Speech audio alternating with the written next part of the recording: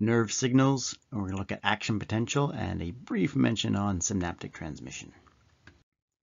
The axon resting potential is what the nerves are sitting at when they are not firing. And so remember the axon being the long body part of the nerve itself.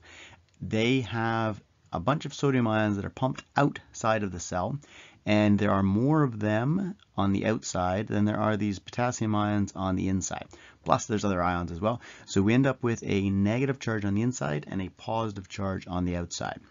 This difference in charge can be measured in millivolts and it works out to be about 70, negative 70 millivolts in terms of the resting voltage between the inside and the outside of the cell. So if you actually put a voltmeter on the inside and the outside of these nerve cells, you'd get a reading of negative 70 millivolts because there's a positive charge on the outside and a negative charge on the inside. Lots of sodium ions on the outside, not as many positive charged ions on the inside, and so therefore they're outweighed by the, the other negative things, the, the negative charged proteins and whatnot on the inside. This setup is essentially a gradient and as such, it has the potential to do something. So this is essentially how nerve impulses are going to be sent down the axon of the nerve cells themselves, down the axon, the long part of the nerve. Um, this potential setup here, and again, that's uh, electrical potential, and then, but it is very much a potential that could be changed in order to send a signal down the axon. So we call this sending of the signal down the axon, um, the changing of the polarization of the membrane, we call an action potential, or just AP for short. So this is a change in the membrane potential, and again, of the voltage of the membrane itself. So normally, the nerve cells are sitting there with a resting potential, uh, more positive on the outside, fewer on the inside, and therefore the, the outside is positive, the inside is negative, with a resting potential of negative 70 millivolts. Then if there's a stimulus, it will cause this voltage to change.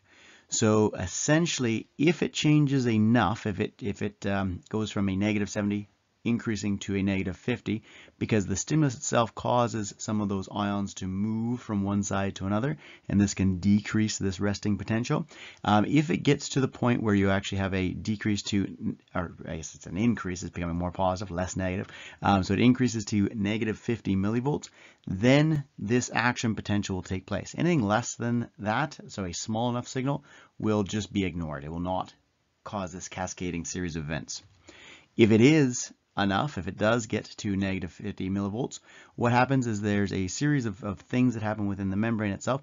The first one being that the voltage gated, and again, they're voltage gated, they don't trigger until you're at negative 50 millivolts. If it's at like negative 60, it's not going to work. Negative 65, um, not going to work. Negative 70, just the resting potential. Um, so it does have to get all the way up to negative 50. Again, we're going more positive here, um, then these particular voltage-gated channels open up and the sodiums that are on the outside are going to flow through because remember there's, a, there's this potential gradient of the sodium on the outside. So if you open up these channels the sodium is going to rush to the inside of the cell. And again that's that's where the negative charges are the positive on the outside. If these positively charged sodium ions rush into the cell then the cell itself that voltage that we had is not going to be what it was. It's not definitely not going to be negative 7 anymore, and it was got, brought up to negative 50. Bringing more sodium ions in is going to bring it up even further. So we call this depolarization, and it actually goes quite a bit on the positive side. So these positive sodium ions rush in to the point where the actual potential difference between the inside and outside goes from negative 70 all the way up to positive 40. At this point, these channels are going to, these other channels are going to kick in. And so the sodium channels are going to close. Voltage gated potassium channels are going to open. And so remember the, the, the inside of the cell at this point here during depolarization, the inside has become positive, and that's where the sodium, oh, sodium ions were to begin with. So if those sodium channels open, the sodium is going to rush out of the cell and it will start to get back to what it was um, in terms of the original resting potential. So we call this repolarization. So it, the, the, it got depolarized by bringing all the positives on the inside, and then this movement of potassium ions is going to cause the nerve cell to repolarize, reestablishing that positive on the outside, negative on the inside. The sodium potassiums are going to pump in, kick in as well. Sodium potassium pumps are going to kick in and start exchanging the sodiums and the potassiums um, back to their resting potential side. But what happens is, while this is, is taking place, while all these sodium, uh, potassium ions, sorry, are running in with the sodium ions already being in there, we end up with some hyperpolarization. So it actually gets all the way down to negative 90 millivolts. Um, and then again, as these potassiums are moved out, um, as the sodium potassium pumps do their thing, the initial state of negative 70 millivolts at the resting potential will be reestablished. So this whole sequence of events is called an action potential. And it happens for each part of the membrane. So while one part is going through this action potential, it'll actually cause the next part, like the neighboring part of the cell membrane, to start to go through these as well. And you get this cascading series of events being passed down along the membrane of the axon. So the entire process is going to start at one point and then it'll move down the axon. Here it is graphically with millivolts on the y-axis here, and then we're looking at time very quick um, on the x-axis here. So again, its resting potential is negative 70. If there is a stimulus that only gets up to like negative 60 or I don't know, negative 55 even, um, nothing will happen. It just goes back to its normal negative 70 resting potential. But as soon as we cross that threshold of negative 50, um, as soon as there is enough movement of ions because of a stimulus, um, that the cell potential rises to negative 50, then we get this cascading depolarization. The sodium ions rush into the cell, and so you end up with all these positives inside the cell, and that gives us a, a relatively high um, membrane potential. The sodium, potassium channels will open. The potassium is going to move back, um, or I shouldn't say back. The potassium will move out of the cell, and so this is called repolarization. The sodium potassium pumps will reestablish which side is which and put the sodiums on the outside, potassiums on the inside. But again, as that's happening, it's, it's, it's this whole repolarization. You're basically pumping those positives back to the outside. And we do it to the extent that we actually end up with a bit of hyperpolarization. It goes a little too far. And then eventually we'll get back to its resting potential. Once it's at its resting potential, then the nerve, that, or at least that part of the membrane of the nerve, is ready to fire again and do another action potential.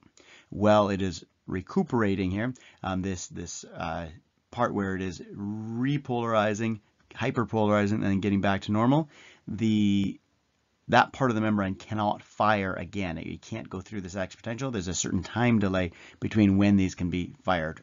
And therefore, there's a slight delay which allows this signal to be passed further down the neuron before it can be reset up. So you only have one way for the signal to travel.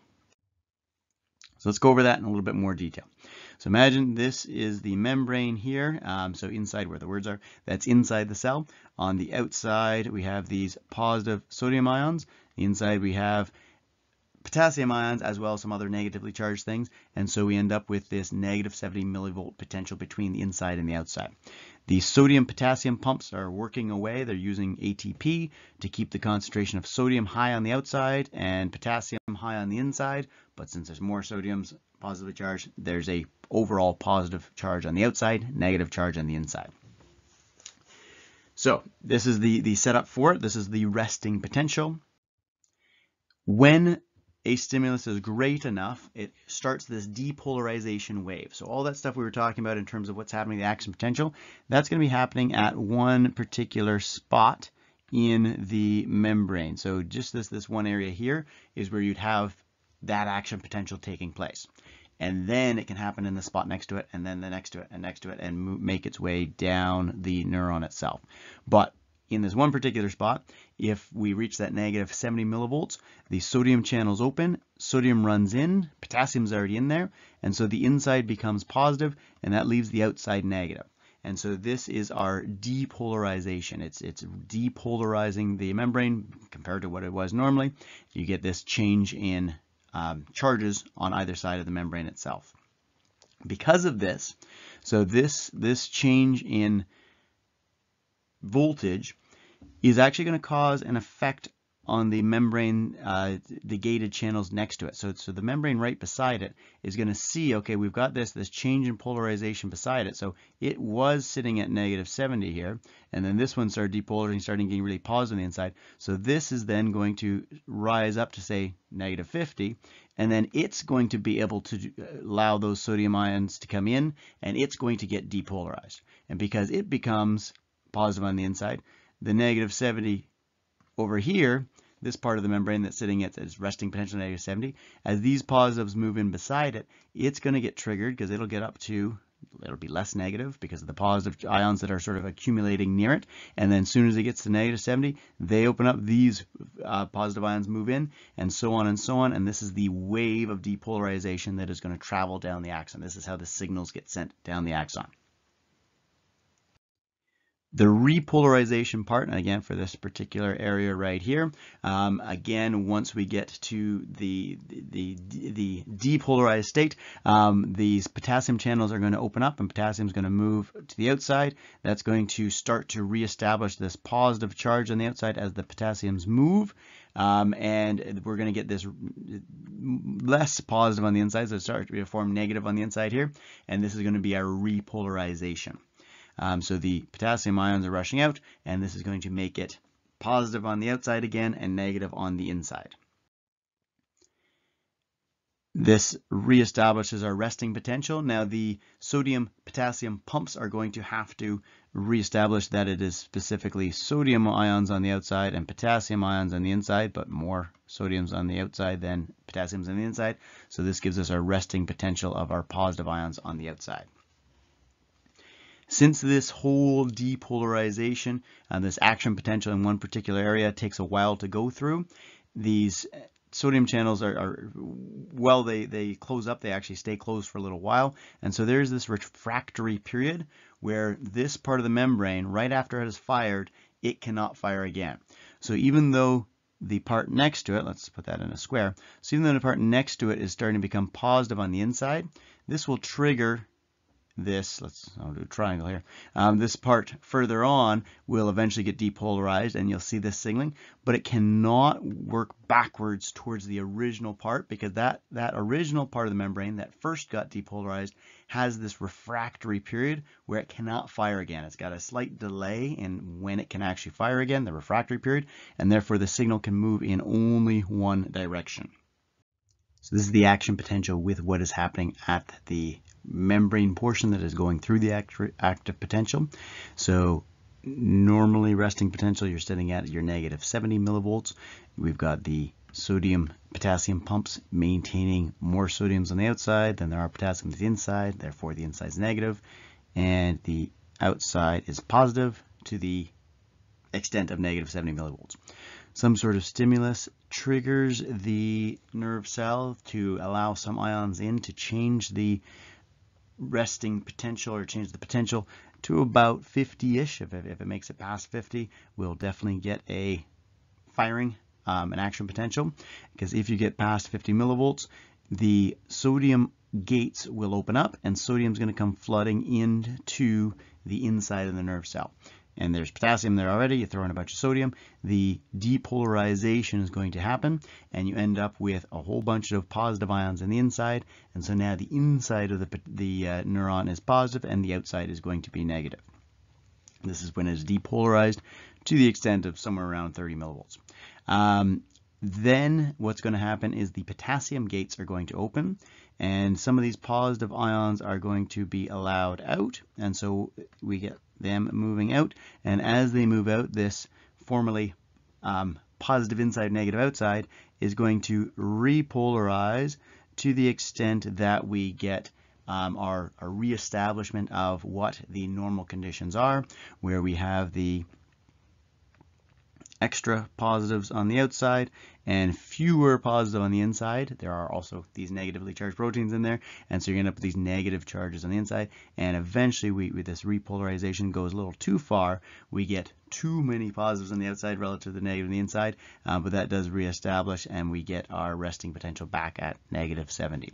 The sodium potassium pumps are going to have to kick in and again because we're removing the sodium, sorry, the potassiums out um, to, to repolarize the neuron, um, but then the sodium potassium pumps are going to re-establish where the sodium and the potassiums are and so we'll get back to having the extra sodiums on the outside um, and the potassiums on the inside, but fewer of them.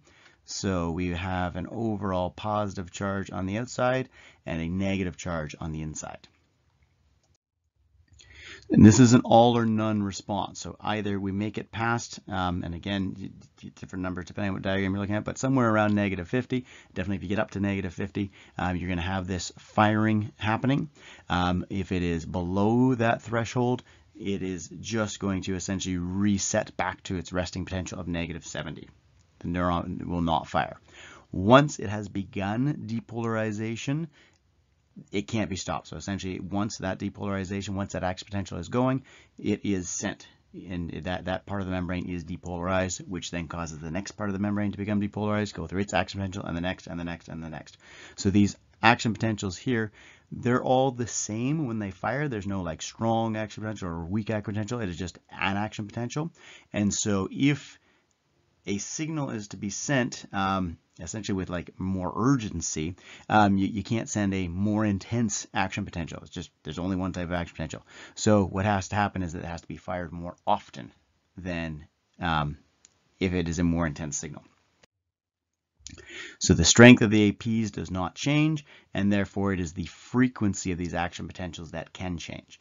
And so these action potentials are going to be um, making their way down the axon of the nerve cell, and eventually we're going to get to the end of the nerve cell, and this is where neurotransmitters can be released. And again, an action potential will cause that, that release to happen.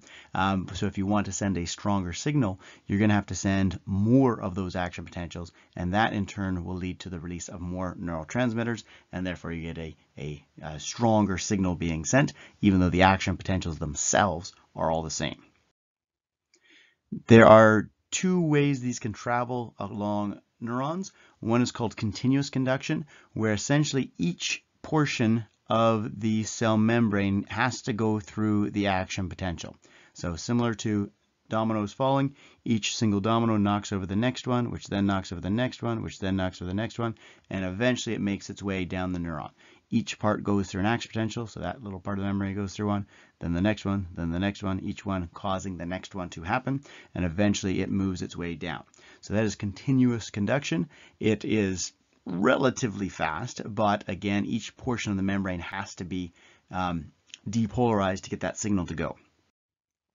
There's another type called saltatory conduction, and this is where the axons themselves are myelinated, and what this allows for is this action potential essentially can't travel down the entire membrane of the, the axon, and so instead it's going to, because the axon itself is covered with these myelinated um, portions and the, the sheath here. So where there is an action potential, this, this part in the, the middle essentially isn't sending the signal. And so the signal is able to jump these gaps in the myelinous sheath, and therefore it is able to travel faster down the neuron. So actually by not allowing the action potential to hit every portion of the membrane, but instead forcing it to jump from one point to another, there is actually a, a speeding up of the transmission signal for those action potentials. And so you can imagine as we do this, um, the, the change in potential here is, it doesn't have to be ca carried all the way through. It's going to cause a change in potential a little further ahead and jumping down the axon, which will cause a change further ahead. And so you get this jumping, which is much faster than doing continuous conduction the chemical signals that these neurons are going to be sending to each other. Because remember, the, the signal itself can only travel down the axon of the nerve. Um, once it hits the end of the cell, that's it. The signal can't go any further using this voltage gradient system. So there is this other system that involves transmission across a gap, synaptic transmission. And this uses these chemicals called neurotransmitters. They are the bridge between one neuron and the next. So the signal itself can travel down the axon of one neuron, but when it wants to jump to the next one, which it can then travel down its axon, it has to travel through that gap as chemical messengers between the two nerves itself. And so these, this synaptic transmission um, will essentially take the nerve impulse to the end of the cell, um, and then in which case we can actually have the release of these molecules, and so we have this vesicle transport of these molecules out of one nerve cell, and we have these receptors on the beginning of the next nerve cell, and so those chemicals are able to travel from one nerve cell to the other, carrying the message that way. These chemicals, when they get to the postsynaptic neuron.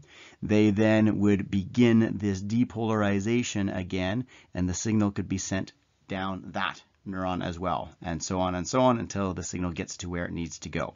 Um, this, this bridge in between is a great source for pharmaceutical intervention um, or adjustment because we can actually play around with either the chemicals themselves that are being transmitted or the signal receptors on the postsynaptic membrane and we can say block those and that would shut down the signal. Or we could put in new chemicals and they, they wouldn't have to come from a neuron but we could actually get them from somewhere else and they would interact with these um, receptors and they would send other signals along the message along the, these these neurons that the neurons themselves weren't weren't transmitting. There are different ways that they can work. So they can they can excite the uh, next one where they, they travel that message further and then add that to the next neuron itself, or they can actually be inhibitory where they actually tell that neuron to okay, we're going to need a little bit more signal before we actually continue that action potential through the next nerve.